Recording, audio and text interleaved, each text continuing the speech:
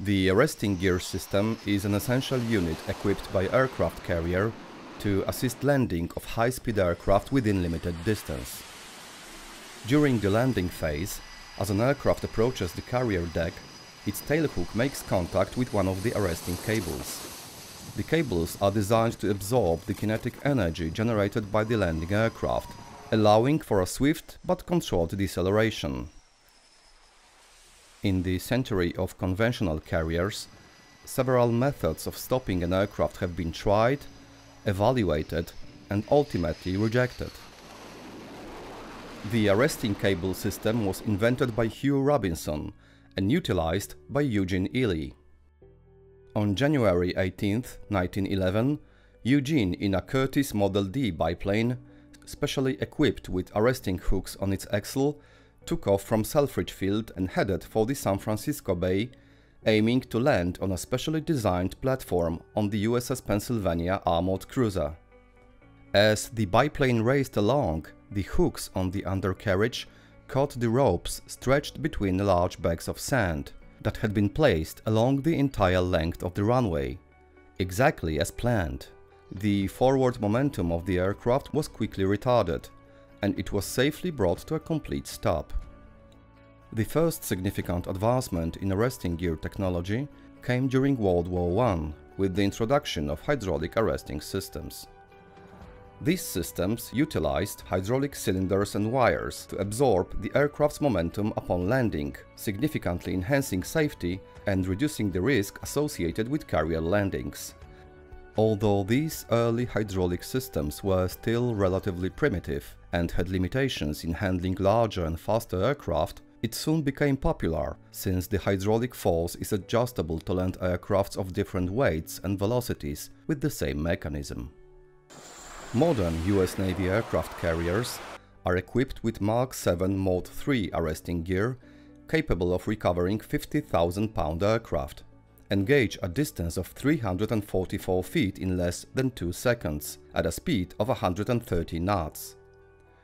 The system is designed to absorb a theoretical maximum energy of 64.4 MJ at maximum cable runout. And here are the most essential components of the arresting gear system. Cross-deck pendants, also known as arresting cables or wires, are flexible steel cables that are spanned across the landing area to be engaged by the arresting hook of an incoming aircraft. On aircraft carriers there are either 3 or 4 cables, numbered 1 to 4 from aft to forward. Pendants are made of wire rope with a diameter of 25, 32 or 35 millimeters.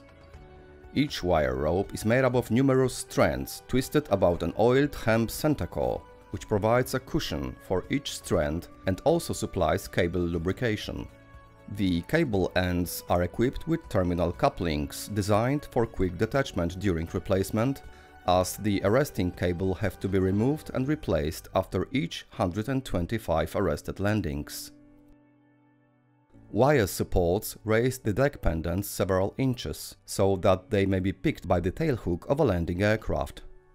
The wire supports on carriers are merely curved steel leaf springs that can flex to allow an aircraft to taxi over the installed deck pendant. The pendant is connected through muffles with two purchase cables on its both end. Each cable goes below the deck, passes through a system of pulleys and damper sheave installations, and then reaches the actual engine. The engine is a hydropneumatic device weighing 43 tons. Its main components are two sets of sheaves, one of them is fixed in place, the other one is moving on a crosshead. The purchase cables are reeved around both assemblies and their endpoints are connected by the anchor dampers. The fixed sheave is attached to a cylinder and the movable sheave is attached to the plunger. The cylinder is connected through pipes to the other components of the system, which are the accumulator, which is a long steel cylinder mounted horizontally in saddles on the engine structure with the fluid end toward the fixed sheaves. Inside the accumulator is a floating piston that separates the air side of the accumulator from the fluid side. Then there is a fluid cooler mounted in saddles on top of the engine structure. It is designed to cool down the engine fluid as its temperature rises because of the friction of the fluid moving through the engine. And the anchor dampers. The purpose of the cable anchor dampers is to eliminate excessive purchase cable slack between the crosshead and fixed sheave assembly at the beginning of the arrestment stroke. The whole system is filled with pressurized hydraulic fluid, which in this case is ethylene glycol. And now let's take a closer look at how exactly the whole system works. When a landing aircraft engages the deck pendant, it withdraws the purchase cable. At initial stage, there appears a severe vibration of the rope. Two damper sheave installations are introduced to reduce the amplitude of the vibration in the deck pendant. When the purchase cable is pulled, it causes the crosshead to move toward the fixed sheave end of the engine. The hydraulic oil in the main cylinder is forced to move out through the pipework, and then is separated into two branches. The minor one goes to the anchor dampers to provide damping forces for absorbing shocks and vibrations of purchase cable. The main one goes to the accumulator through the constant runout control valve, or CROV, which is the heart of the system and is designed to stop all aircraft with the same amount of runout, regardless of the aircraft's weight and speed. And here's how it works. CROV is connected with the crosshead through a drive chain.